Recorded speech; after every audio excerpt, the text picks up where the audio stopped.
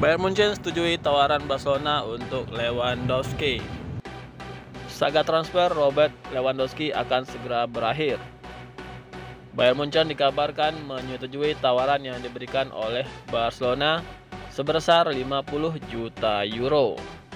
Tarik ulur antara Bayern dan juga Barcelona sudah terjadi sejak sebulan terakhir. Pemain depan Bayern Munchen, Robert Lewandowski, terang-terangan ingin hengkang dari Bayern. Lewandowski menyatakan klub tujuannya cuma satu, yaitu FC Barcelona.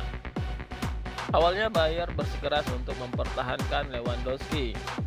Bahkan Bayern akan memberikan tawaran kontrak baru bagi Lewandowski.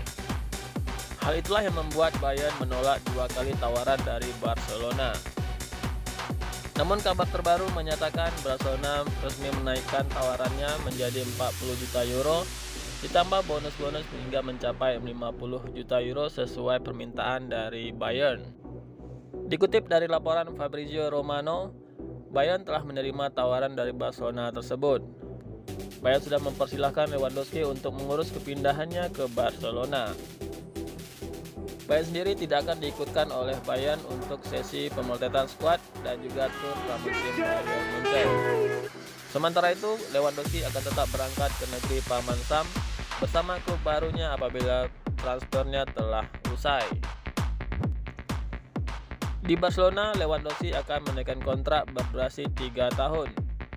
Lewandowski akan menjadi pemain keempat yang direkrut oleh Barcelona di musim panas ini.